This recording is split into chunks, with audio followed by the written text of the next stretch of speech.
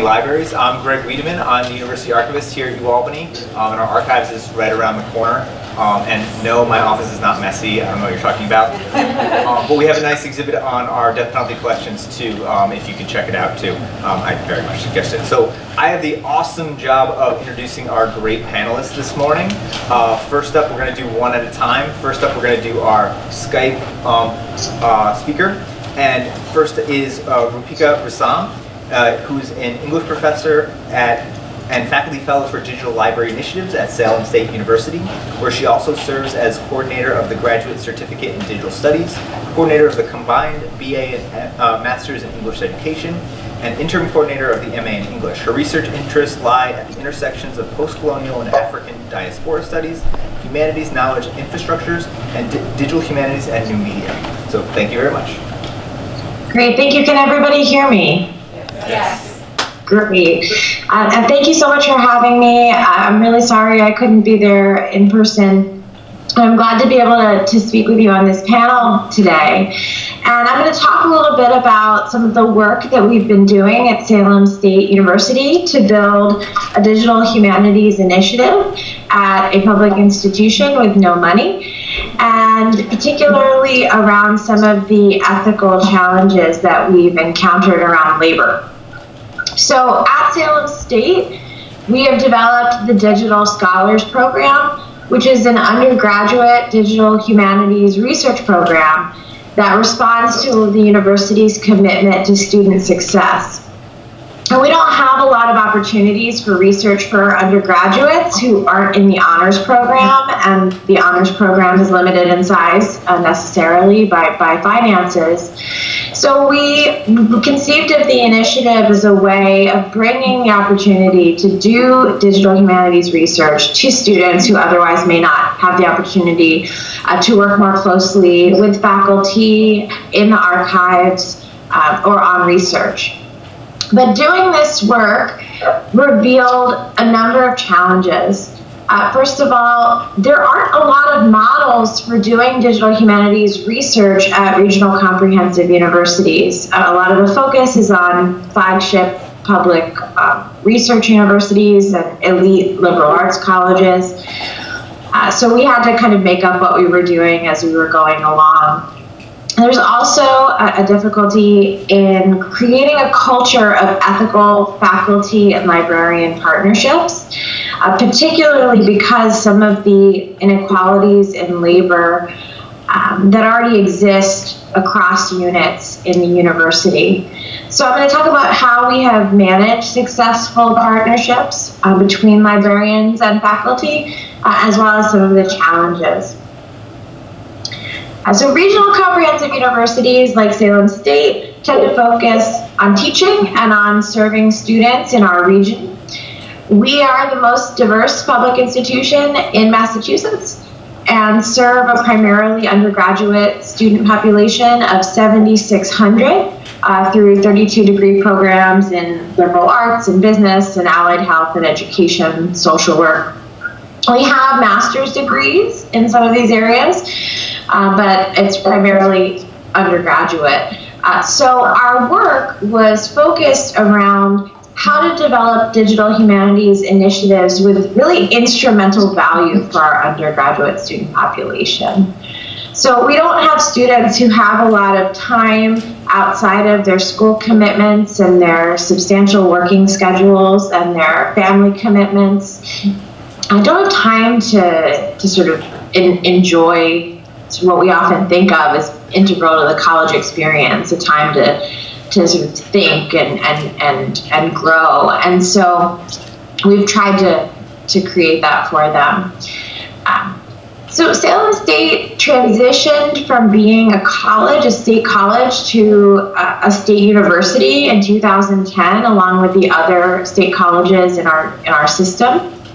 And in Massachusetts, it's a, there's a there's a three tier system. So there's the University of Massachusetts system, which gets all the money, the uh, state state universities, and the community colleges. So all the state universities became universities in 2010, and we've been trying to negotiate uh, the changing institutional identity that comes from that shift. And part of that is that our faculty and our librarians, who are all um, all our librarians are tenure uh, track or tenured librarians, and we have tenure track faculty, adjunct faculty as well, of course. But our, our tenure line faculty and librarians have always had to demonstrate uh, that they're meritorious in uh, teaching or development of library programs, um, service, and research uh, for tenure and promotion. But what's happened at the university is that the expectations in the area of research have increased without any corresponding decrease in responsibilities. So, no lower teaching loads for faculty, no hiring of additional librarians to spread the work. And uh, these are, of course, the result of fiscal constraints because we've seen a significant decline in funding from the Massachusetts state legislature since uh, 2001. And in particular, because of this, the number of librarians at Salem State has decreased 25% since 2008 as people leave or people retire and the positions just don't get filled. Uh, so, with uh, our, our digital uh, humanities initiatives, uh, we're trying to respond to the need for increased research and increased blending of, of teaching and research by working with our students.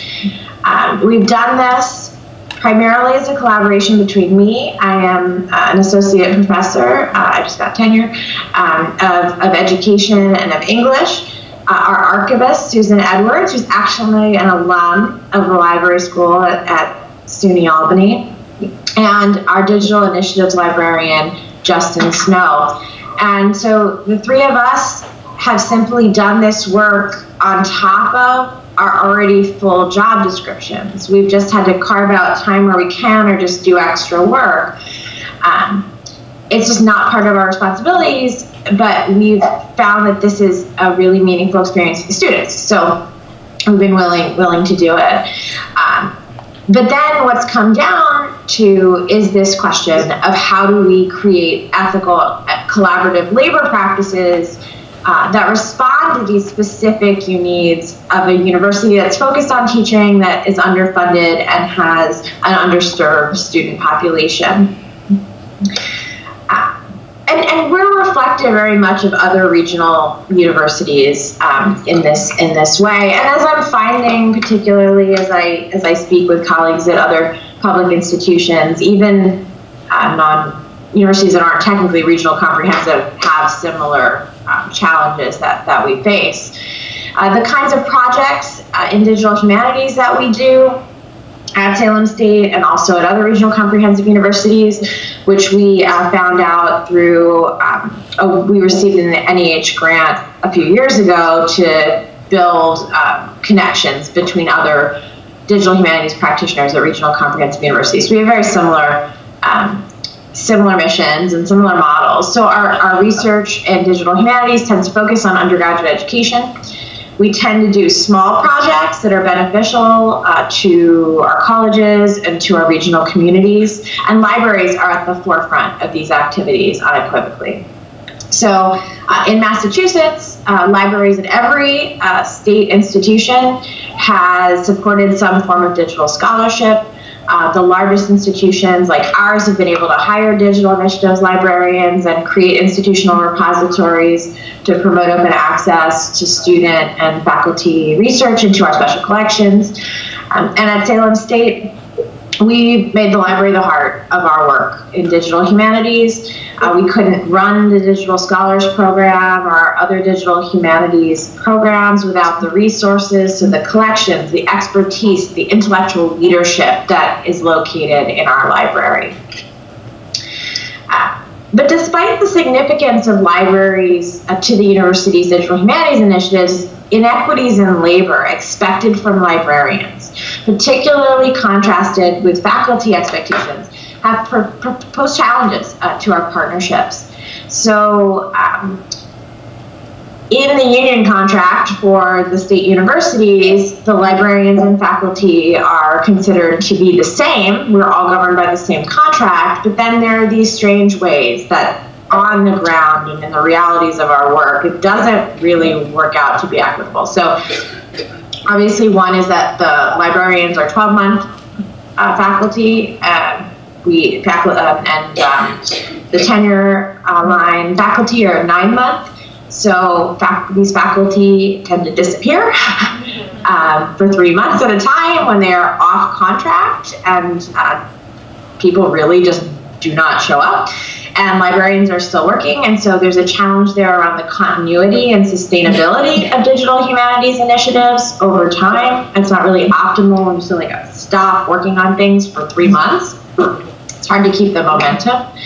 Uh, and there's also the issue of um, compensation. So because of the union environment, faculty, uh, the uh, faculty teaching faculty uh, can receive will receive additional compensation for any work that falls outside the boundaries of our contractual work.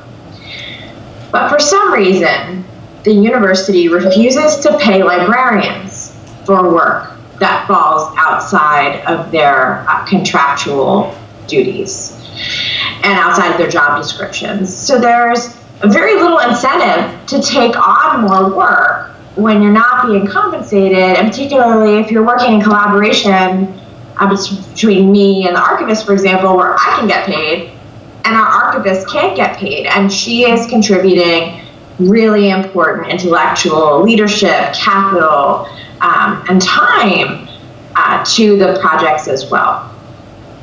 And aside from this, we have this very typical um, issue around this expectation of faculty that librarians are there to serve them. The service culture uh, of librarianship has been typically strong at the university, and trying to change that has been an interesting challenge.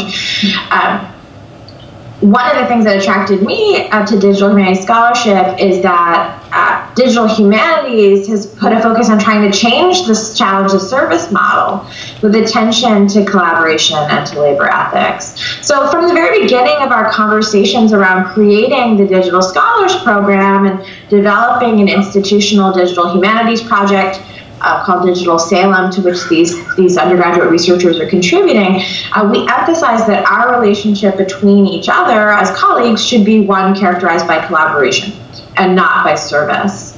And so throughout our collaboration, we put these labor issues at the forefront of our work to try and change them and change the culture. Uh, so uh, essentially, um, the program itself uh, we began uh, by designing through trial and error again because they're not really great models for regional comprehensive universities and we piloted the program in the 2015-2016 academic year funded by a small grant from our strategic initiatives uh, grant program which provides grants to create cross-unit collaboration cross-departmental collaboration. And we made the case that the Digital Scholars Program would contribute to student success through an innovative educational experience that uh, advanced their intellectual and personal and professional growth. So in the program, students from a range of departments, so English, history, geography, education, um, computer science, have the opportunity to learn more about digital humanities and how it might complement their educational experiences and their career goals. So they've gotten access to a really innovative interdisciplinary educational experience. We emphasize building 21st century literacy skills, so collaboration and communication and critical thinking and problem solving, creativity and digital literacy. Um, we give them interdisciplinary experiences, uh, bringing together STEM skills and humanities research methods um, we bring in career services as well uh, to talk to them about how to translate the experiences they have in the program into cover letters and for job interviews. Um, and uh, so, really, we're, we're thinking about this from the perspective of being a university where students are coming to the university for very utilitarian reasons. They're looking for upward mobility, they're looking for career prospects. And so, uh, we've had to think about very instrumental ways of making the case that the, their participation in the program will be useful for them and help them uh, you know, be prepared for jobs in the knowledge economy, uh, be prepared for jobs we can't even imagine yet. So uh, this then came back to another issue around ethics of labor, which is, um, you know, we have these students working on these projects, right? And they're not getting paid. And they're not, uh, they're actually paying for course credit because the way the program works is the students are, um, are mentored through the process of doing independent research and they're paying for course credit. Uh, so it was very important to us that we put them at the center of the projects as intellectual leaders themselves. That they would gain experience uh, working with the literature and history and culture of Salem by designing and implementing digital humanities projects that are drawing on our archival collections and connect their experiences um, in primarily humanities majors to digital, digital literacy, but that we needed to step back. We needed to be mentors, not project directors. We needed to uh, shepherd the students' uh, intellectual growth as researchers and as the intellectual leads on the project and put aside whatever it is that we hoped would come out of the um, digital humanities projects made with our archival collections. Uh, so this was part of the sort of questions of how do we develop these ethical labor practices, um, not only for faculty and librarians, but for also for, for students. Um, there's a really interesting way that these are that these kind of questions of labor are all connected to each other. So, on the one hand, we have this issue of how faculty can be compensated and librarians can't be compensated. So, um, through our grant funding, for example, we've been able, had the opportunity to receive money for this work, but this money through payroll could only be distributed to me and not to my partner. And so, the way we got around that was actually just to pay me. And then it turns out that you can give someone up to $26,000 as a gift and still be okay with the IRS. So, my, my colleague who's the archivist has received some gifts after taxes. So everything's completely above the board. I mean, the only way we could compensate her for the work is pay me and then I give her, you know, half in cash in an envelope in like a back alley. oh. Ah. It's like really just just pay her, right? Um, but because effectively running the program is drawn on both of our experiences, both of our unique st- skill sets. And it's really very much because digital humanities functions best when it's working at the heart, uh, at the intersections of libraries um, and humanities, right? Um, not libraries or humanities, but at the intersections of these. Um, so that was sort of one, one issue. Um, I mentioned already the student, uh, the issue around student labor. Uh, so we really uh, draw inspiration from the Student Collaborators Bill of Rights, which specifies that a student uh, must be paid for his or her time, for, for their time if they're not empowered to make critical decisions about the intellectual design of a project or a portion of a project and credited accordingly. So that's how we ended up designing the project as an undergraduate research program rather than a digital humanities internship program, which had actually been what we had originally wanted to do. Originally, we were hoping to have ways to pay them to work on projects with paid internships, but the simply then the university had a budget crisis and that didn't happen. So um, the students are the intellectual leaders um, of the project. Um, so many work with us for a semester, some work with us for an entire academic year. At the beginning of the semester, we introduce them to the theoretical dimensions of, of archival studies and digital humanities. We can give them a conceptual grounding in the methods that they'll be using in their research. They explore our collections for the first two weeks of the semester. They identify a topic of interest. They, we start mentoring them, developing research questions, and then kind of take them iteratively throughout the process of developing a really, really small scale digital humanities project. So we've had students doing work on the history of activism at the university. We've had students doing work on um, curricular changes, um, when Salem State was first established as a normal school uh, in 1854. Uh, we've had students doing 3D modeling, uh, sites on campus, uh, all because this was what interested them and what excited them when they got their hands on the archival materials, and then we sort of worked with them to to, to help them design it into a project. Um, so we, we we try to take a step back and and and sort of these are students who, you know, because of, of, of demographics, because of their K 12 education, don't really come believing that they're empowered thinkers. And we want them to, to realize that they are um, to so we, we take that very seriously.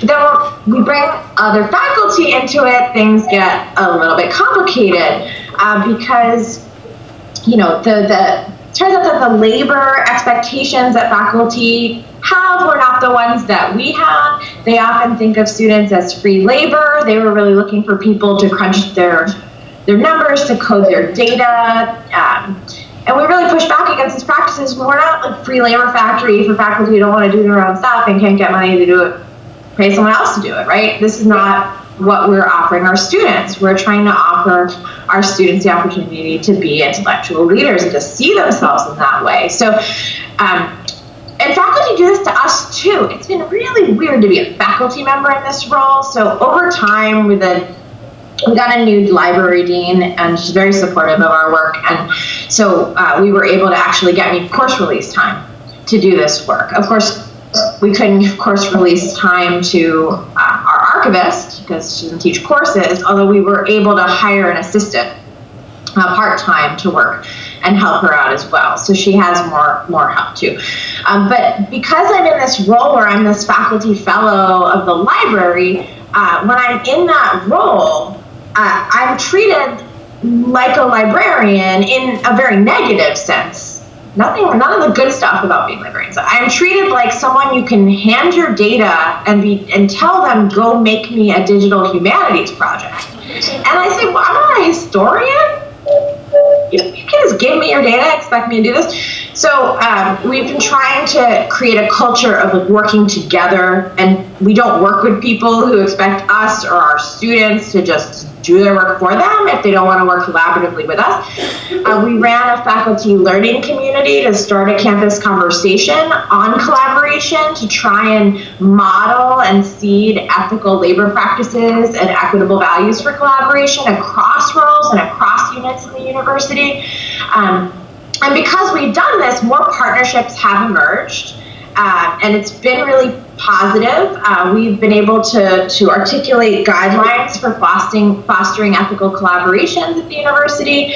Um, and um, recently we were able just to get a grant from, a large grant actually, from the Board of Higher Education uh, to um, do some professional development work with faculty also around how do we uh, and with the administrators around how do we evaluate this scholarship this collaborative scholarship and tenure and promotion for librarians and for faculty.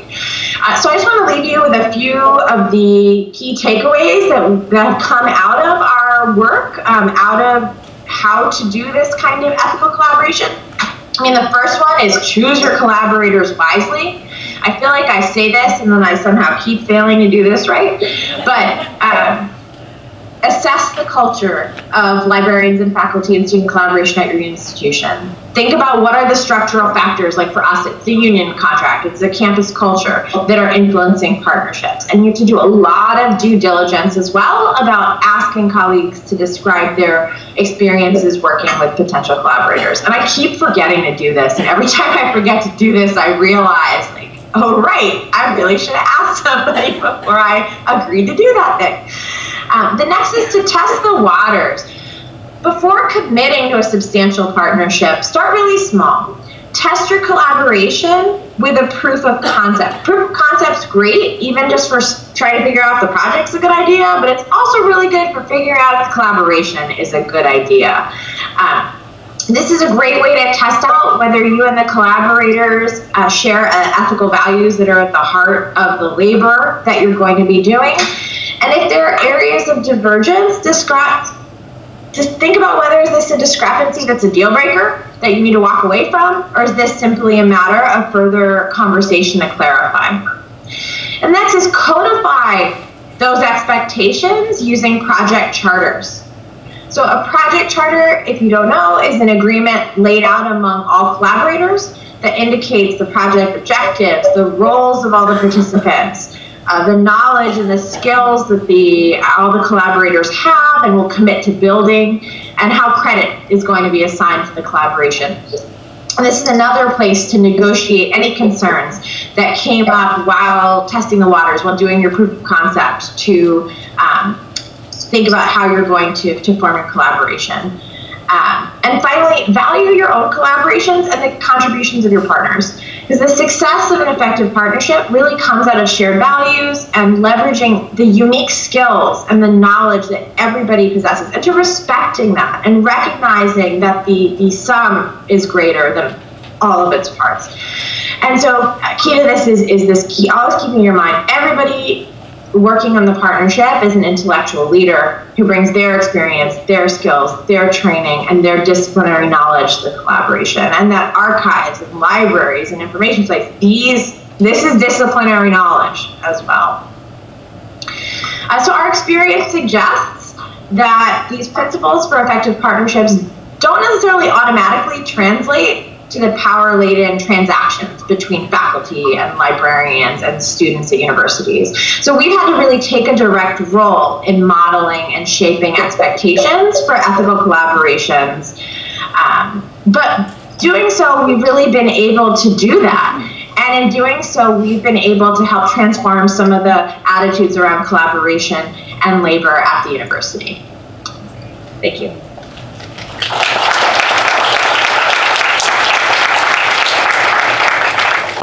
as Greg said, my name is Amy. I'm the Digital Scholarship Librarian at Binghamton University. Um, and just for show of hands for me, uh, raise your hand if you're working in the libraries. Okay, okay, great. Lots of librarians in the house, awesome. Um, so again, how many of you are currently working to establish digital scholarship or digital humanities services in your libraries? Awesome, yeah, us too. Um, my talk today is basically uh, just to give an overview of what we've been doing at Binghamton so far. We're still in the earlier stages of establishing our digital scholarship services and um, just talk about, you know, one way that we've done to work to get it established. It's not the only way you can do it, but it's it worked for us and um, maybe worth trying at your place as well. So defining digital scholarship in itself can be difficult. Um, digital scholarship is an umbrella term and incorporates a variety of services, ideas, and technology. Um, I created a little word map over here of how different institutions define digital scholarship, and a lot of the times it includes the words digital and scholarship. um, research, technology, humanities, service, support, future, data, um, center, uh, so at Binghamton, we still keep our definition broad as well, uh, as we are serving a variety of backgrounds and expertise, uh, while also still being in these learning stages of what would be valuable to the people on our campus. Um, so we define it as making use of digital tools and methods to view research, scholarship, and pedagogy in new and different ways.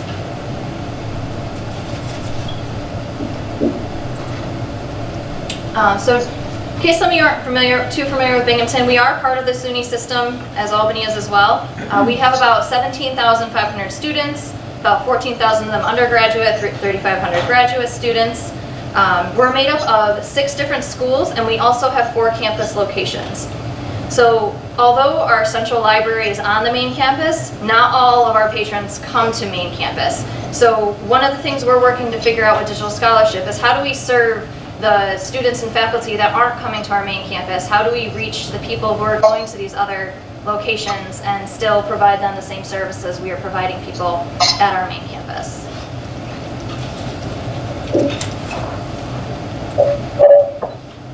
Um, so before, before I arrived at Binghamton, the, the libraries, along with members of teaching faculty, two of which are here today, um, began talks about the growing needs for digital scholarship and digital humanities services at Binghamton. Um, this group brought in speakers and offered workshops to get the wheels in motion.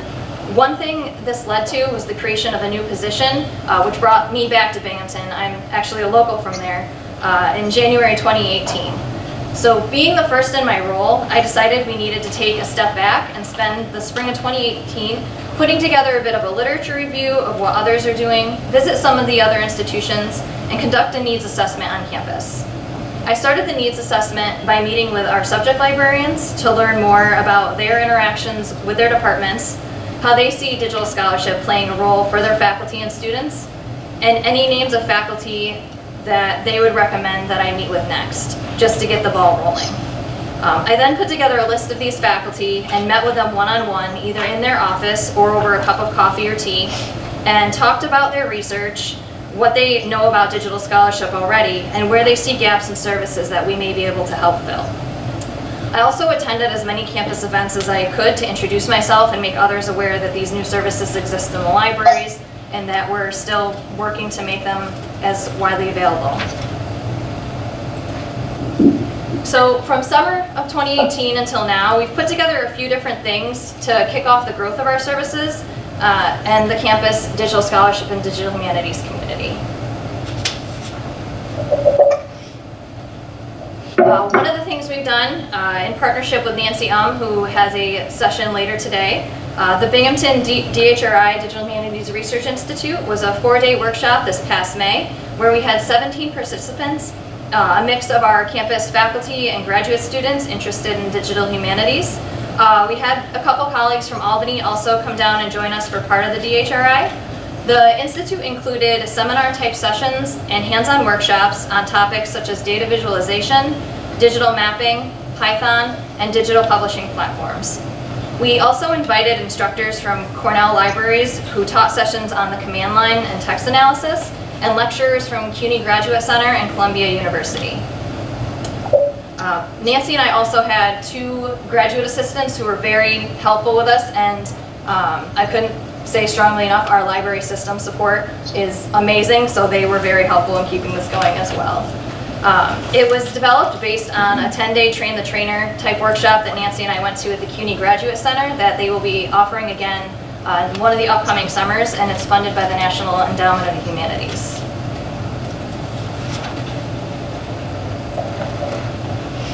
And these are just a couple pictures from the DHRI, uh, our group on the last day because in Binghamton we don't see sun very much in the spring. Um, so we took advantage of the clear day, and you can actually see our uh, Priscilla and Jesus from Albany are up there in the picture as well. And then on the right are two of our two members of our co-sponsors on campus. Um, they came to some of the sessions as well just to see how it was going with the participants and learn more about the tools we were showing them.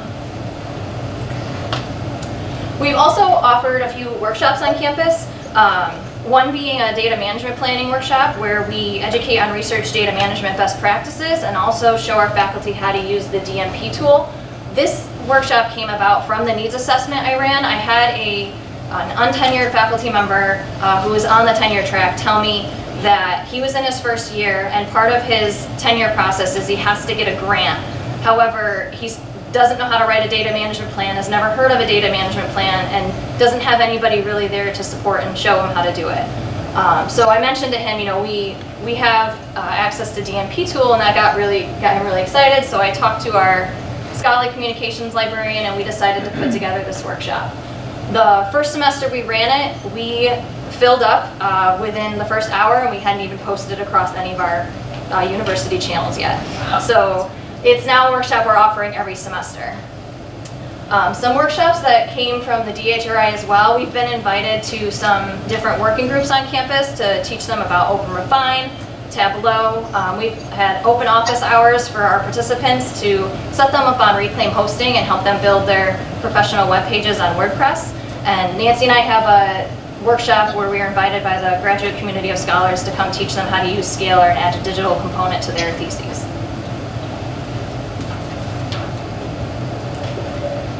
Um, so another thing we've been working on is our open repository and um, the ORB is an open platform for our faculty and students to promote, share, and archive their scholarly and creative works. The ORB has given faculty and students a chance to share both published scholarly research and their creative endeavors, including photo exhibitions, an auto archive of a student radio show on campus, showcase other types of digital collections, and create and manage student journals. Um, since all SUNY campuses are being required to create and implement an open access policy by March of 2020, um, at Binghamton we already have ours approved by the Faculty Senate in December 2018. Um, so one thing the Scholar Communications Librarian and I have been doing is going on a roadshow to departments to just explain what is open access and how are we here to help you by sharing your work through the orb.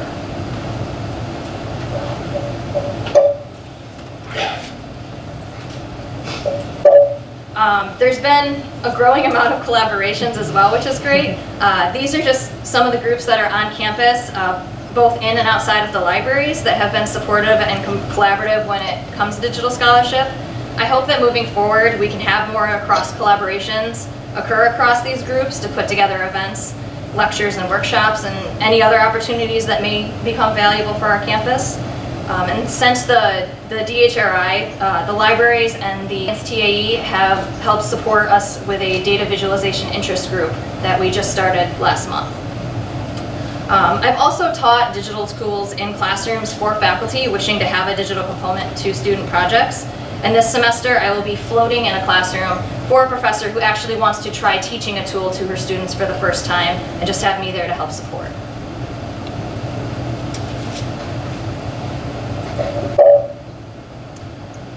So our Digital Scholarship Center is a project that's in the planning stages. Currently we have a Digital Scholarship Center working group that's made up of five librarians with a plan to add faculty and students to the group in the future. Um, this group has gone on site visits to other institutions who are at different stages of this process to learn more about what has been valuable in their space. And in our pilot space, we plan to have VR equipment available for use, flexible furniture, glass whiteboards, and open hours for consultations. The goal is to use this time to gain a better understanding of what we can offer in our future space that would be essential to our campus community.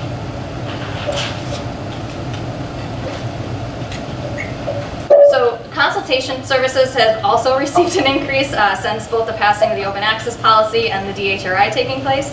Um, faculty have reached out for recommendations on digital tools to use in their research and to teach students in their classrooms, including uh, Omeka S, Timeline.js, the Orb. Uh, we're doing some work with possibly Perma.cc to offer as a service.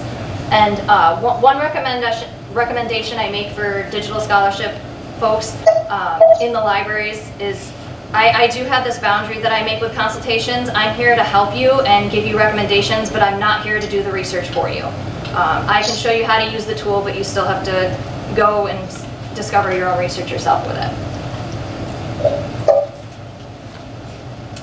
So now that I've told you about a few of the hats I wear in digital scholarship, um, this is the cluster of roles that I see involved in the digital scholarship librarian's life.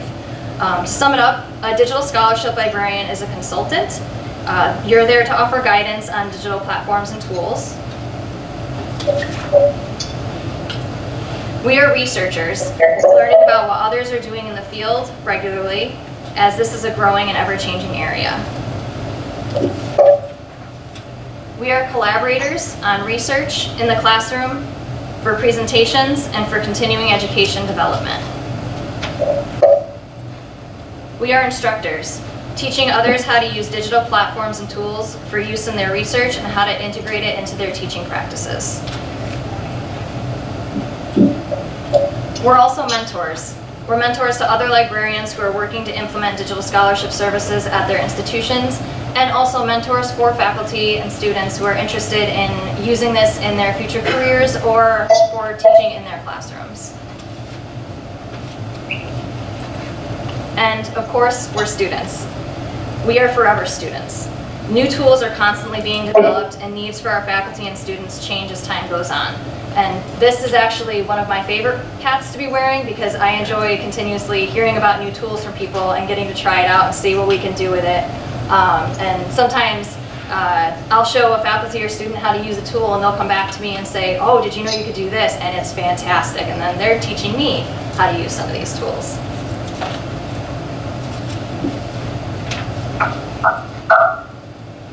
So just some recommendations, uh, how success is defined and what is sustainable, what sustainability looks like will depend on the needs of your institution. Um, the needs assessment help us know where to start for our services and having support from our administration and colleagues has also been a major factor. Um, advocacy by those who we have already brought into our digital scholarship and digital humanities communities has been an asset and um, we have had more people coming to some of our open office hours and workshops uh, who have heard from others or uh, who heard from others, even our co-sponsors who weren't even participants, that you know these great things are happening and you should see what's going on. For Binghamton, uh, you know we're we're still in the growing stages, um, but for long-term sustainability, I see us needing more people to help with these services. Um, currently, I'm a, a one-woman service, and that can only go so far as we move forward if we want to make this grow. And if you are, uh, looks like a lot of people are local to this area, um, so just a couple events that are coming up that if you're interested in attending, they are free. Um, there's a library carpentry one happening on October 25th in Oneonta where you can learn about intro to data and open refine and it's open to academics, community members, people uh, working in public libraries, school libraries, so it's a, a good chance to meet others and also earn, learn just a little bit more about research data and a data cleaning tool. There's also THATCamp happening on the same day in Syracuse, which is an unconference for those interested in digital humanities. Um, this I've never gone to an unconference, so I'm actually pretty excited to see this. Uh, it looks it looks like a good a good group coming so, so far, but they have space as well. And any any uh, you don't have to be somebody who's already working in the field. If it's just an interest of yours, you're still welcome to come and share and learn. Thank you.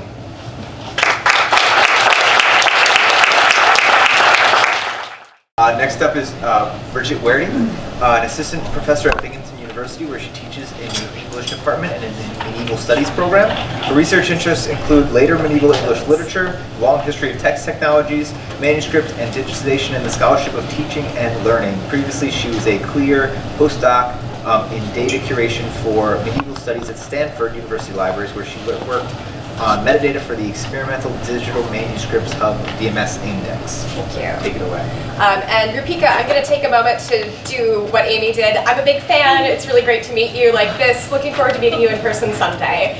Um, my slides, like everyone else's slides, will be up in the repository, so if the beheading of the, uh, them bothers you now, you'll be able to see the complete set soon. Um, the uh, argument in the title of my talk is not new. Um, in fact, it's pretty old news that those of us engaged in digital scholarship face significant challenges in hiring, tenure, and promotion. While I'm not breaking news in announcing these challenges, I think that one of the things that is missing from many 10,000 foot view discussions of digital scholarship is the view from very specific pieces of ground. Uh, today, I'm going to speak today about the day-to-day -day and on-the-ground experiences that promote or inhibit the uptake of digital scholarship by faculty working in traditional academic departments without the protections of tenure. In my time, I'm going to begin by unpacking some of the local conditions that have led me and many others in my hiring cohort to postpone digital scholarship until after tenure, or at least until we feel that we have met tenure requirements for analog scholarship and are therefore free to engage in digital scholarship. Then I'm going to offer a kind of speculative fiction, a counter-narrative of my alternative tenure timeline in a parallel universe, uh, and the kinds of digital scholarship I would have engaged in over the last four or five years had I felt that digital scholarship would be rewarded locally. Part one, uh, written authority versus lived experience. This is the job ad that brought me to Binghamton. As an argument of local support for digital scholarship, this ad would seem to suggest that the person hired for this position, a person whose active research agenda engages with new digital technologies in the study of medieval literature, would be expected to continue developing that research agenda. But starting with my campus visit, it became clear to me that one of the things that made me an appealing candidate for this position was the fact that my first major research output was a book. In other words, I was competitive for a medieval studies and digital humanities position because at least early on in my career, I would not have to do digital scholarship. Neither the medieval studies program, in which I do half of my teaching and the bulk of my service, nor the English department, in which I do the other half of my teaching and which is my tenure home, have written criteria for tenure, let alone written criteria for assessing digital scholarship for tenure and promotion. Instead, both defer to the Binghamton University Faculty Handbook statement on tenure criteria. This looks promising, welcoming even. But my on-the-ground experiences and an unscientific survey of other pre-tenure faculty suggest that in practice our institution is rather less supportive. In what follows, names have been removed and details anonymized. Pre-tenure colleagues who have trusted me with their stories do not want to be perceived as ungrateful or troublemakers when they go up for tenure. One of my colleagues was told by his chair to do no digital scholarship until he had accrued enough traditional publications to be assured of tenure. Digital scholarship, she said, would not help him for tenure. Another was told by her chair that she could do digital scholarship, but a successfully funded and completed digital scholarship uh, digital project would probably be counted as roughly equivalent to a peer-reviewed journal article. Generally speaking, journal articles are faster, cheaper, and easier to produce than digital scholarship.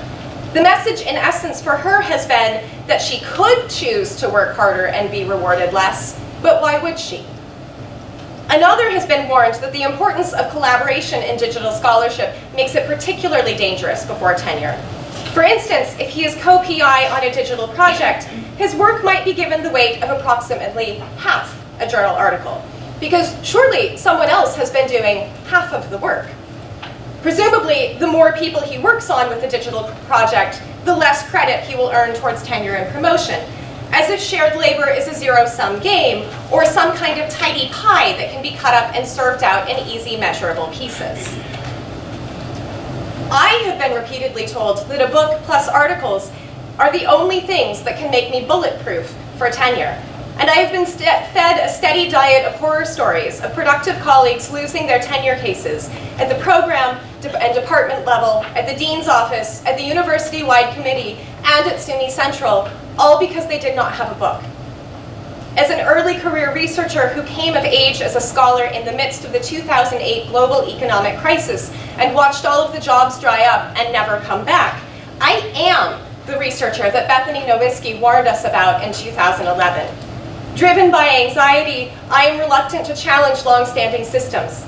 With eyes on tenure or promotion, or as I have come to think of it, hopefully not being fired, I have chosen to de-emphasize innovative work that I fear will not fit my colleagues' preconception of a valid or significant scholarly contribution.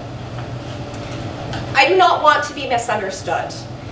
Under the leadership of Amy Gay and Nancy Um, there are exciting things happening in digital scholarship in the humanities at Binghamton University. But although Amy and Nancy and I stand in, are, are comrades in arms in our shared commitment to digital methods, we stand in very different places institutionally. Nancy is an associate dean with tenure. Amy and I are both in tenure track positions, but in the libraries, Amy's tenure case is explicitly linked to her success and engagements in digital scholarship. By contrast, for pre-tenure research and teaching faculty housed in academic departments, the stories we trade and the quiet conversations we share demonstrate a general lack of trust. We do not believe that enough senior faculty who will be voting on whether or not we get to keep our jobs will honor any digital work as sufficiently scholarly. This nagging sense that, uh, sorry, this nagging sense that digital scholarship is unsafe and off limits before tenure affects faculty members' morale and our retention. I have recently relaunched my digital scholarship agenda with the project Richard Coeur de Lion, a medieval multi-text, for which I am co-PI, along with my colleague Kate Noreyko at the University of Washington. Kate and I are both assistant professors, and we're playing it safe and writing monographs for tenure. But Kate intends to use our project as the centerpiece of her case for going for promotion to full professor, although she also intends to have a second book project well underway and several additional journal articles just in case. if Kate can be promoted to full, based largely on our shared digital scholarship, but I can only earn the equivalent credit of a journal article, doing the same work but gaining a significantly smaller reward. This arguably disincentivizes my staying at the institution that has nourished my career thus far. But the negative impacts of a campus culture that devalues pre-tenure digital scholarship extend beyond individual faculty members' relative happiness and our presence. Our institutions lose out when creative digital projects are disincentivized. And for those of us that, who work at public institutions, our local communities are work, missing out too. To make my case about this larger loss, here's my thought experiment about a parallel universe in which I continued to pursue the active research agenda that I had when I began my job. In 2014, when I was a Mellon-funded postdoctoral fellow in data curation for medieval studies at Stanford University Libraries, I served as the photographer's assistant in the digitization of a single 15th century book of hours, Stanford University Libraries M0379. This was not my actual job, but I begged for the opportunity to try my hand at the foundational work of digitization in order to better understand the unseen labor and the laborers woven through the massive digital medieval manuscript archives whose metadata I was curating. In the memoranda that I helped draft, arguing for the digitization of this battered, smoke-stained, fascinating little book, I suggested that it was the perfect case study for a vast array of digital projects, Students in book history and paleography courses could learn the basics of transcription using this book. Rather than having these classes repeat the same tired transcription exercises semester after semester and year after year, we could have students write the next set of assignments as part of their final project for the next class so that over the arc of years, all of these students working together with me and anyone else who was interested could collaboratively transcribe and write a new history of this unstudied book. We could recover the hidden histories of the book's owners that are recorded in these copious reader's marks that have never been studied. We could map the book's movement across time and space from 20, uh, 15th century Ghent to 21st century Silicon Valley. When I gave my job talk at Binghamton in January 2015, I made this case for my audience. It was a public part of my active research agenda through which I gained this job. My alternative tenure timeline begins with my arrival in that parallel universe home campus that was ready to reward digital scholarship and digital pedagogy at tenure and promotion. In that timeline, shortly after I arrived in upstate New York, I realized that Stanford University Libraries M0379 has rich New York and specifically upstate connections. According to the bookseller's note, this book was one of 52 books found among the ruins of Morrell's storage house after the Great Fire, which, on the 10th of October, 1881, destroyed over 2,000 volumes, from the library of Henry van Schaick.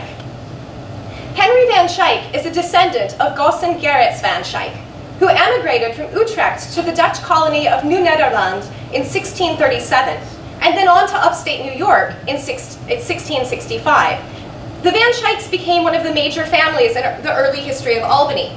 Van Schaick Island is named after them, and it's just up the river from where we're meeting today.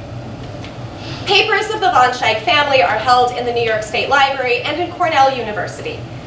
In this universe, nearly all of my research time has been dedicated to revising peer-reviewed journal articles and writing my analog book, with a brief foray into a co-publishing with librarians, a report on information literacy instruction, an act which has received very mixed reviews by senior scholars on my home campus. But in my alternative tenure timeline, I was able to spend some of my research time not just feverishly writing books and articles, but writing grants to support student travel and student training using the Van Schaick family collections. This is an alternative universe and not fairyland. So the first of my grant applications were rejected, as grants generally are in their early iterations. But eventually, by strategically partnering with Binghamton University's research division, as well as collaborators at Binghamton and Albany uh, adjacent SUNY schools, we succeeded. Graduate schools, uh, graduate students and advanced undergraduates at multiple SUNY institutions have received hands-on training at the State Library and at Cornell. We have transcribed and when allowed, digitized archival documents related to M0379 and the Van Schaick family more broadly. Then, working together in this alternative universe, students, faculty, and staff on a variety of different SUNY campuses have together used this one book of hours to launch several different interconnected projects. Importantly, this fictional collaborative team has gotten to define relevance in terms of their own interests, and not my own targeted book-related questions. So while I've combed through papers looking for mentions of medieval manuscripts and rare books, trying to lock in that Van Schaick family connection, other students and other faculty and staff have done very different things. Economics majors with medieval minors have written up reports on the latest uh, late medieval pigment trade. Students interested in gender have attempted to track down or at least contextualize a woman named on folio 108 recto, Joanna Therese, and they've used her name to try to contextualize the experiences of literacy in, for women in the early modern period. Accounting majors who have appeared in my classes seeking desirable general education requirements have traced the lawsuits against John H. Morrell, owner of that supposedly fireproof warehouse that burned in 1881. And these students have gone on to write about the rise of the insurance industry or fire coverage. Other students have studied lawsuits filed against Henry Van Schaick when Mrs. Catherine Jennings sued him because she fell into an uncovered coal hole in the front of his house in New York City and broke her leg. The case has climbed, that case climbed all the way to the New York Supreme Court, and so our students' research has been able to do so as well. We carry to medieval manuscripts the urgent questions of our own times. And so, in this alternative universe, as conversations about race and racism in the United States have grown more public and more heated in the past few years, so too has our digital scholarship. Among the family papers of the Van Schaick family in the New York State Library and at Cornell are 18th century documents recording the sale of human beings, as well as letters by mem members of the Van Schaick family concerning runaway slaves. In that parallel universe, where collaborative digital scholarship and digital pedagogy is rewarded at crucial moments for tenure and promotion, we in this room share students who are working to excavate and write uncomfortable and important new public histories of slavery in upstate New York. And at the center of it all is this battered, small, remarkable, little medieval book. In that alternative universe, over the past five years, our cross-campus collaborations have given rise to new training opportunities, new research networks, and okay, I'm just going to embrace fairyland for one moment, new job opportunities and job placement for our shared students. They have gone on to gain some small media attention too, which we've then used to show how the humanities and libraries in the SUNY system are deeply involved in helping students do the real work of scholarship, engaging in hands-on research and making new knowledge. One of the unanticipated benefits of our work together on M0379 in that alternative universe is that we have developed honed workflows and research infrastructures for launching this kind of ever-growing, shifting digital project hub. In this universe, in December 2018, Binghamton University acquired two illuminated books of hours through the support of the Breslauer Foundation and donors Alex Huppe and Rita Bernardo. In this world, we have no collaborative research partnerships in place. We have no cross-campus teams, no grad students and undergraduates trained up and excited about archival studies already pursuing their own research. All of this still needs to be built from scratch. And since the manuscript's arrival on campus seven months ago, I haven't had time to even think about building any of it because I've been desperately trying to finish writing my book. It's 10 months since we purchased these books at auction, and they have yet to be the focus of the sustained study that they and our students and our donors richly deserve. But in that alternative universe, our digital scholarship research networks are already tested and strong. And so we've been able to immediately move into the study of these new books. Indeed, we've been able to extend our studies in really exciting new ways. French departments have gotten involved because the annotations in our new books are in French biology departments are interested in partnering with us to do non-invasive DNA testing and map out the relations of the animals whose skins were used to make these books. Even better, we've begun seeking outside grant funding to partner with the Luma Foundation in Binghamton. In this universe, I have been dreaming about doing this since I arrived on campus four years ago, just in time for the first Luma Projection Festival that being a scholarly point person on an art projection project based on medieval illumination has always been a step too far. as badly as I want to do this work, and as much as it might actually fit with the description of what our faculty handbook says should be rewarded, I don't trust enough of my senior colleagues to reward that labor when it comes to tenure. In the alternative universe, though, we've gone for it. We're bringing in art and media students and faculty and local artists through strategic partnership with local nonprofits like the Department of Public Art to make original, medieval, manuscript-inspired art. Art that I would add is deeply connected to the latest research and debates on medieval manuscript studies.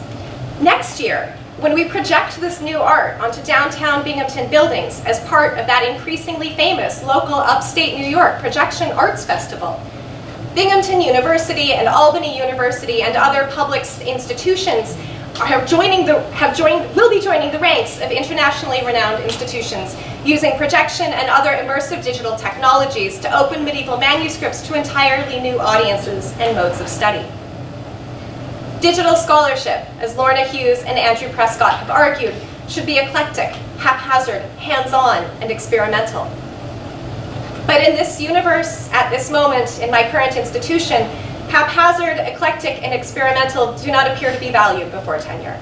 Indeed, they may well be punished with the denial of tenure and the loss of job, wages, health care, and so on that goes with it. The good news is that by gathering today, we're taking steps to address on-the-ground conditions that may be keeping local pre-tenure faculty from doing digital scholarship. At Binghamton, for example, Nancy Young has sacrificed some of her research and teaching time to take to take do value, valuable administrative work, um, which puts her in a position to advocate for people like me. Indeed, when I began putting pressure on the heads of the English department and medieval studies programs, seeking written statements on the relative value they would assign to my newly relaunched digital scholarship agenda, they both immediately said they would turn to Nancy for help. Change is in the air. I trust you enough to lay out all of the reasons that I abandoned my active digital research agenda for five years. But change, like digital scholarship itself, is slow, messy, and haphazard. My trust that I can tell you these things is predicated on the fact that my book manuscript is out for review.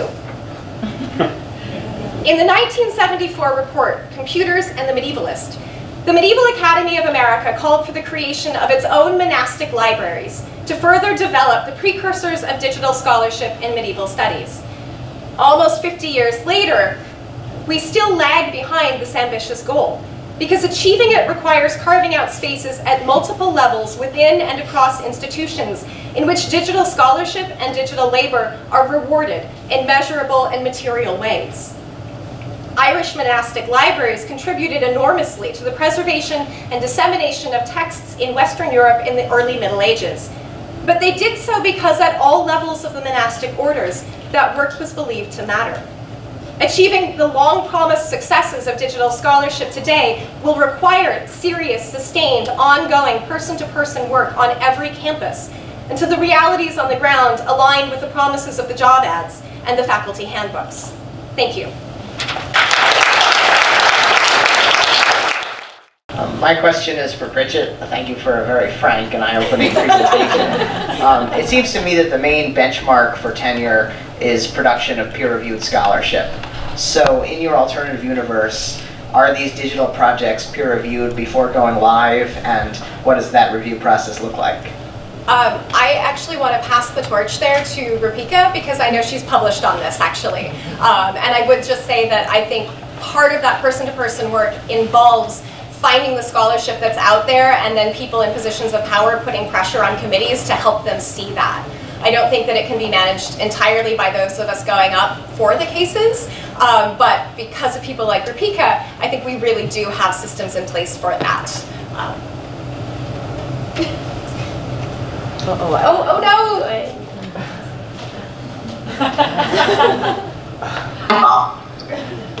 uh, say thank you, thank you, Bridget. Bridget and Amy for your talks. Uh, no, I'm getting feedback. Can you still hear me? Yeah. Yeah, okay. So uh, I actually, I went through this recently because I went up to tenure last year.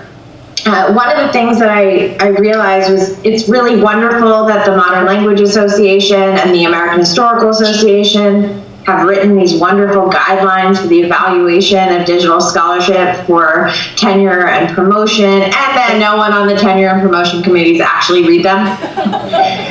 and so uh, one, one um, thing I noticed in the letters that I had uh, written from external reviewers is that one of them had actually gone through the criteria from the MLA with regards to one of my projects. And, you know, in her letter, she had said, all her projects do these. Let me go through this one particular example. And she painstakingly laid out how a project fulfilled all those criteria. So I think part of the work there uh, is on uh, senior faculty uh, who are in the positions to do these kind of evaluations to actually do them, to use these mechanisms that exist because they speak, at least try to speak in a language that um, humanities uh, scholars understand. And the other is there are a number of really interesting initiatives that are trying to actually do peer review of digital scholarship. And actually, one of them is a journal called Reviews in Digital Humanities that's new that I'm the co editor of with Jennifer Giuliano at IUPUI, who's a digital historian. And uh, what we're trying to do is actually provide peer reviews of projects. And there have been uh, the landscape of peer review for projects is part of the reason um, that that there's challenges for people doing digital scholarship pre-tenure. Um, there are sometimes there are a few journals that kind of periodically publish reviews, and then there have been a number of uh, initiatives over time that have failed. So what Jennifer and I did was go and interview all the people who had failed and pick their brains about what could we do differently around the review process and around um, the structure of the journal to uh, to change things. And so we think of it a little bit like if any of you are in the classics, the Bryn Mawr Review uh, journal is a classics journal that book does book reviews. So we're kind of starting with that as a model with the idea of uh, doing essentially post-publication peer review of digital scholarship. Uh, and so we, we just received our first submissions in September, so uh, I can let you know how that goes. but we have projects out for review. We developed really robust mechanisms around review that also are, are connected to the MLA and AHA review guidelines. So we're hoping that we can intervene in a gap in providing peer review of digital scholarship that hopefully people can then put into their portfolios and say, look, my digital scholarship has been thoroughly vetted by a community of peers, like an article, like a book. So then I guess it's not just the uh, alternative universe, but in this universe, it's happening. Any additional questions?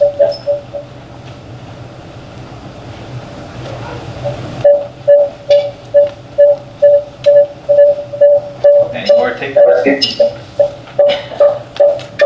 So I have one, if no one's gonna shout me down. Um, so I think today we saw some really awesome scholarship this morning and the potential for how digital scholarship can help us make our, our understand our world better. But we also um, talked about the importance of compensating and supporting uh, the labor that's required for this work, and also the limitations of old models for assessing um, this work for faculty and tenure promotion. So in sort of our current higher ed climate, which we have um, cannot get new positions normally, and even the positions that we are trying to replace don't always go through, is this work possible to start at other new institutions? Um, well, I can go first. Uh, okay, you can just hear me. Um, so it's definitely possible. As I said in the presentation, I mean, I'm, I'm a one-woman service right now, and it's been possible. We've done many things in the libraries already in just two years. Um, it doesn't have to be done at a rapid pace. It can be slow, it's a process, and things will continuously change, and needs will change, and projects will change. So there's nothing wrong with working on something now, experimenting, which um, I think you said it, digital scholarship in itself is experimental. And just just keep growing with the process and trying new things. And some things will come out great. You may even build a new tool out of something that you're doing um, or have some great presentations like we saw from rob earlier today. Um, but don't it, it's not a race. I mean, I feel like a bit of an imposter on this panel of uh, two people who are doing the work, and I'm just sort of planning doing the work. Um, but I would say it's it's not just possible; it's vital. Uh, this is a very different way of organizing our arguments, but I think our keynote speaker showed us how powerful those arguments can be, um, and the reach of that really important work has been so much more than a traditional book or peer-reviewed article will be. Um, I think what we're getting is the slow, messy investment is absolutely necessary. The valuing of that labor, not just sort of in like empty platitudes, but valuing it in terms of like making sure people get paid um, and aren't exploited and all of that. Um, like it has to be done. But I think the work has to be done. We can't go back. It's already out there. So it's on us to decide if we want to be part of what's happening right now, or if we're content being musty and not joining in. Can I, uh, just comment, I'm not in the tenure stream, and that has been kind of liberatory, and I would not get, I mean, it's clear, my colleagues in the history department, they've been arguing about how to, re- how much or little digital humanities, or digital history should count for tenure and review, and it- the, the little have won that battle as far as I can tell. I would clearly not be remotely, uh, qual, they would, I would not get tenure in that department. They, they, they, uh, I think they happy having me as, as, uh, as a, as a colleague at the university, but they would not be happy to have me as a colleague at an associate level in the department. Uh, we have like one or two more minutes. Any more questions?